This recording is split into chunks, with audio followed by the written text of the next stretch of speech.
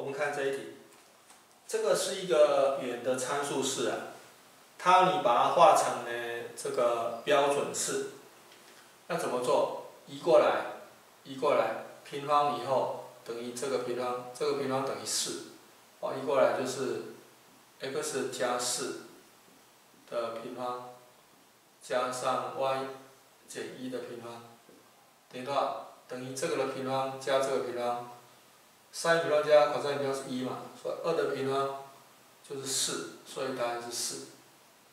所以呢，这个就是它的标准式。